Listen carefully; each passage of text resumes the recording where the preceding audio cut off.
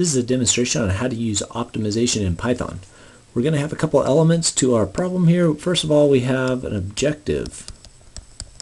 And uh, we have might have other types of constraints that we're subject to, such as this inequality constraint. So we know that the product of those four variables, x1, x2, x3, x4, has to be greater than or equal to 25. The next one is going to be an equality constraint. And here the product um, from i equals 1 to 4 of xi squared has to equal 40. We just write that out um, like this. And then the final thing that we have with this optimization problem is that all of the variables have to be less than or equal to 5 and greater than or equal to 1. So we have some simple bounds on the variables as well. And then we have some initial conditions. These are going to be the initial guess values for our optimization problem, where x1 is going to be 1, x2 is 5, and so on. Okay, so we want to program this in um, to Python and be able to, so let's have this thing over here. Okay, our optimization problem. And then we'll go ahead and program this in uh, using the SciPy uh, optimize minimize package. And the first thing that we'll need is um, you know, we'll just go ahead and import uh, NumPy and also um, from SciPy Optimize we're going to import the minimize package. And um, okay so next uh, we're going to define some of our functions. The first one is going to be our objective and we'll make that a function of x and x will be a vector um, in on the right side there I have x1 through 4 but in Python uh, we start with um, x0 so I'm just going to uh, shift that down by 1 you know if you need to make it a little bit more understandable for yourself um, you could do uh, this. Actually let's do that. It'll be a little bit clearer here. Okay x3 and x4 okay so now I can just do x1 times x4 times, okay, I'll just add these up, and then plus x3. Okay, so we're going to return that from our objective. And then the next thing we need to do is define um, our constraints. And the first one uh, that we're going to do is our inequality constraint. But the way that we define this is we've got to move this um, over to the left uh, side and so we need to have a function of x is greater than or equal to 0 so we're going to return this value and then we'll tell it that it's an inequality uh, constraint. So I'm going to move that over to the other side and I'll define my first constraint. I'll just call that constraint 1. Okay, in this case it's going to be um, the uh, let's see the product of all the values.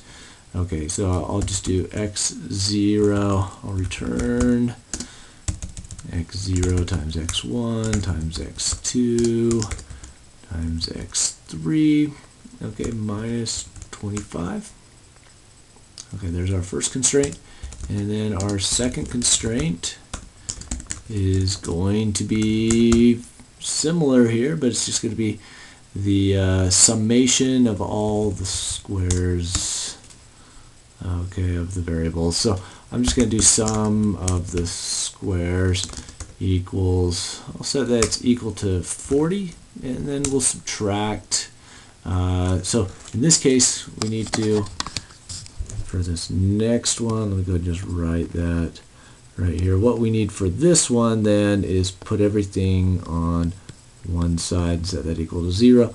So what I'll do is I'll just move all of these over to that side and uh, have it equal to 0.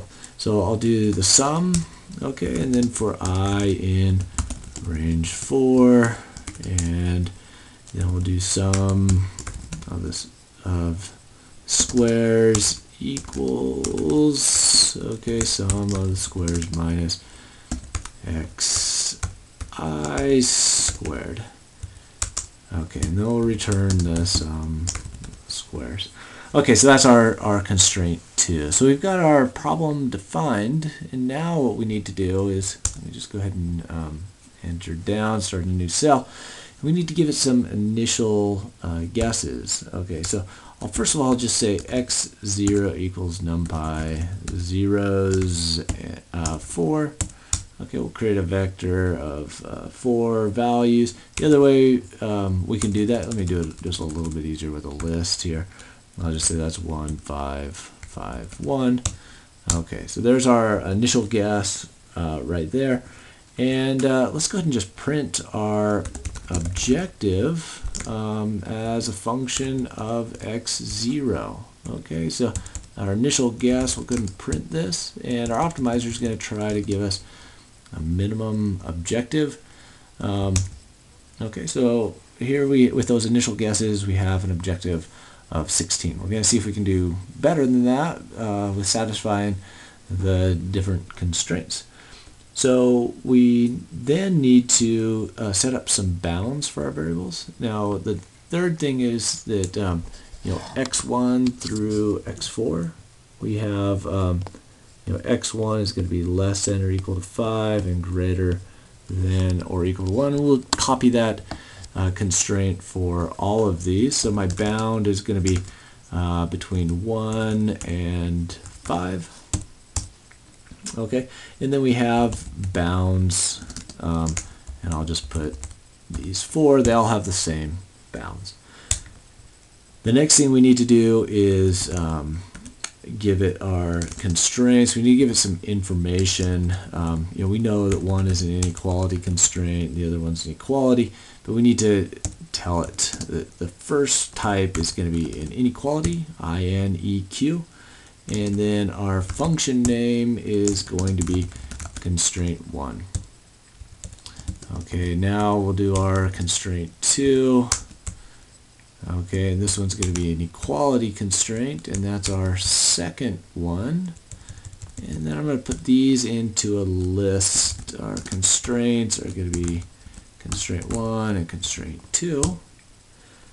Okay, so we've got our bounds and our constraints defined as well. Okay, now comes the uh, our solution is I'll put just SOL is going to be equal to minimize. We're going to use the SciPy optimize minimize function.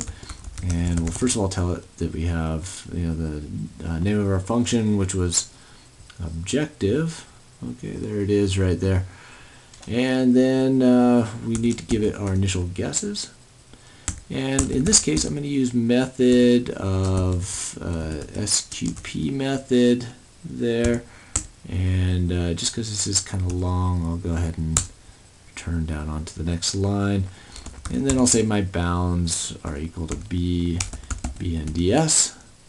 And my constraints are equal to CO and S. Okay, so here it is. Now if I enter, hopefully this will um, solve. Okay, and I have some invalid uh, syntax here. Oh, you know what? I needed to do an equal sign right there. And let's try this one again. Okay, so it's solved.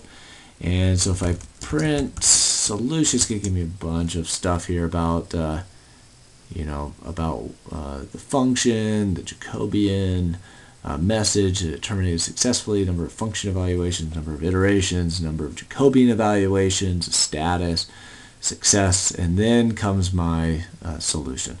Most times we just want our uh, solution values. Uh, you know, we had our objective function, so we could print um, solution.fun.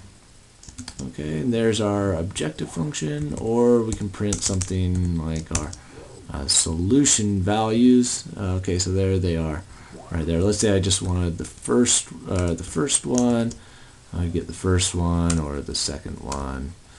Okay. Okay, so there you go. You got the, the all of the solution values uh, to that. So, so we've uh, optimized um, this uh, problem right here. Uh, we had our objective function. Uh, we had an inequality constraint, a general nonlinear inequality constraint uh, right here. We had an equality constraint, we had some bounds on our variables, we gave them initial guesses, and we were able to minimize uh, this objective function right here subject to all of those constraints. So if you want to download uh, this code, I'm going to go ahead and post it um, here on the apmonitor.com website. Just come to CHE 263 and it's down here under the Python side. And if you come down to optimization, um, you'll see this. This is the optimization problem that we're solving here. And a little bit more information. Method 1 is with the AP Monitor Python package, another video there. And then I'll post this video and this uh, source code there just come down here and click the uh, Get code in the bottom right. Okay, so that's it uh, for this tutorial on how to use an optimization solver within Python.